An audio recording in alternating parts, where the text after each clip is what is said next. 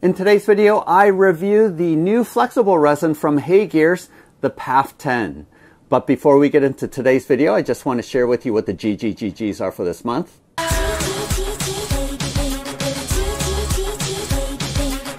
Each month, Bob the Beholder picks some of my Patreon supporters to receive gratitude gifts. And for this month of February of 2025, we have my Kickstarter version of Cthulhu Death May Die. We have a pledge for the Stage Top 2 Kickstarter. We have two pledges for the Curse of the Citadel Great Hall campaign. We have a pledge for the Grid City Gothic by Saucerman Studios. And then finally, we have $100 going towards a crowdfunding campaign, which my Patreon supporters voted upon. Go ahead and use the link below to go to my Patreon page where you can find out how you can get in on the chance of receiving one of these gratitude gifts. It only takes a dollar. And Bob will be making his pick this upcoming Sunday, March 2nd. So if you haven't seen my video for why I think the HeyGears Ultracraft Reflex RS is one of the best printers on the market right now, go ahead and check out my review video of that. And I do want to say really quickly that during the month of March 2025, there is going to be a sale where it's $150 off for the RS. And then if you use my code, then you'll get an additional $50 off to bring down the total price to $809. That brings the price down to what I think is affordable and well worth the cost to get the best resin printer out there. Glad to hear that they came out with a more flexible resin, and this is the PAF 10. This is going to go on sale in the middle of March, I think March 16th. So again, I'll provide links below if you do want to purchase this. Up to this point, my go-to resin with my HeyGears is actually to use the PARP 10, which is a good balance between detail and flexibility and also cost. And the trick that I've been telling my viewers is to go ahead and buy just one bottle of the PARP 10 but then to buy the refill bottles of the PAS 10, PAS 10, because this bottle is only $32 and that makes it affordable and within the range of what regular resin costs. So really glad that they came out with this and this has been my go-to resin where I've been doing 90% of my printing off of this resin. So is it worth it to pay the extra amount because this is going to retail at $55 to get the more flexible version. Usually when you have a more flexible resin, you have a loss in some of the quality and details and as things get a little bit more mushy and I've done a, a number of review videos and if you're using a non HeyGears model then my go-to was to mix Sunlu toughness with the Sunlu ABS. I felt like that was the right combination of both flexibility and detail that you could find. So how does that compare with this new flexible resin from HeyGears? Let's go ahead and check that out. All right, first off, we're going to do a quality of the print comparison. On the left, we have the PARP 10, and on the right is the new PAF 10. And I am surprised because the level of detail on the PAF 10 is actually more than the PARP 10. The reason why I'm surprised by this is because usually with more flexible resins, you get a softening of the features, but as you can see here, the detail is quite crisp. And here, let me zoom in on the scales just so that you can see what I'm talking about. So just note the amount of detail in this close-up of the skin and all of the bumps that you see here. And if you compare that to the PARP 10, which, you know, is no slouch, I think it has incredible detail too, it's just a little bit softer on the PARP 10. So I think I'm surprised that the PAF 10, even though it's more flexible, actually has greater detail. Now let's go ahead and compare this to the PAP 10, which in a, a previous comparison I found to have the greatest amount of detail available to it. And if you see here, the PAF 10 has the same amount of detail as the PAP 10. which again, I think I'm surprised by because I was expecting the details and the crispness of the print to be less. But in fact, we see that it is equal to the PAP 10, which is a harder resin than um, the PARP 10. And that's why I use the PARP 10 is I give up some of the quality for the better resilience and flexibility. But here we're having an example of where the more flexible resin of the PAF 10 is actually a greater amount of detail or equal to the detail of the PAP 10. So the quality I think is really good. Another look at quality is to look at the spaceship and the amount of crisp detail that is available here on this ship. So that's really interesting.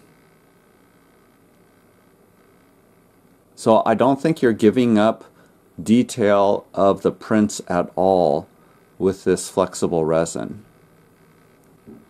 Here's another side by side with the PARP 10 on the left and the PAF 10 on the right. Now, I think it's a little bit easier to see the details just because of the darker gray color, whereas this light gray, it's a little more challenging to see the amount of detail that is here. What I should do is just spray paint both of these a dark gray color so that you can see the details. But I do think that the PAF 10 does have slightly more detail evident to it. Now whether or not you're going to notice a difference when you are at tabletop height, I don't think that's the case.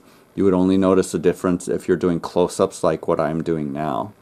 This model from the one-page rules um, shows you some of the detail difference because here on the left I actually used half Sunlu toughness and half Sunlu ABS to mix it together because the Sunlu toughness by itself was too flexible. But you can see that some of the details in this model is mushy. It's a little bit um, not quite as crisp and then here we see the example of the PAF 10 model. And I just feel like that the details are a little bit more crisp on this model as compared to here on the left. And the reason why I printed these Furies in this um, more flexible material was because I didn't want these wings that are a little bit delicate to break off. So as you can see here, there's flex to it. So if you drop this thing, it's not going to snap off. If you were to use regular resin, even these chains underneath, there's a high risk of it snapping off even as you're taking off the supports.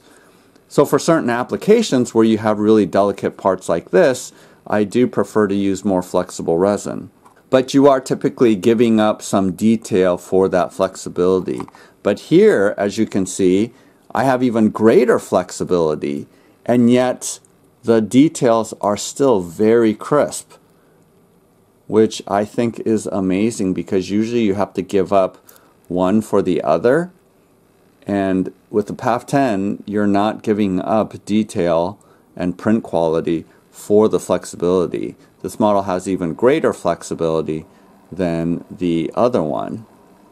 I would not be able to do this with the PARP 10 uh, PARP 10 actually does have a little bit of flexibility, but not nearly this much.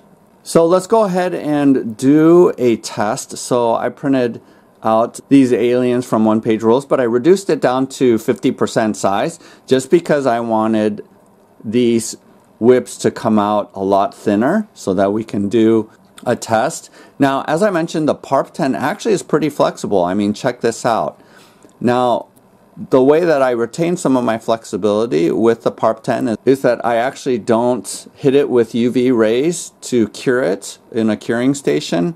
Actually, once um, I clean it in the alcohol IPA bath, I actually just remove the supports and I actually don't cure it more. Um, I think I do have to with the PAF 10 because there are certain spots where it's still there's still a little bit of resin on there that hasn't cured completely so I might have to hit these with the curing station, whereas I don't have to with the PARP 10. You can see here that the whips on this alien is way more flexible than even with the PARP 10, which I don't think is that bad, but there's way more flexibility with this. I mean, I can do this pretty much with the whip. So that's pretty amazing. And yet at the same time, there is a good amount of stiffness that it isn't doesn't feel like a, completely a piece of rubber. And of course, if you drop these, you know, it's not going to break at all. And if you're finding yourself, and that's the case here too, I mean, dropping it obviously from this height isn't going to do anything, but it does bounce quite a bit. Um, but let's go ahead, see how far I can bend this before it breaks. So, yep, see how I couldn't pull it even that far before this snapped. And then I will also bend this portion and see. So not that far, right, uh, before it snaps. Even though there's a certain amount of give to it, um, it will snap and break relatively easily. Let's check this out again. You know, I can do this fine uh, let's see how far.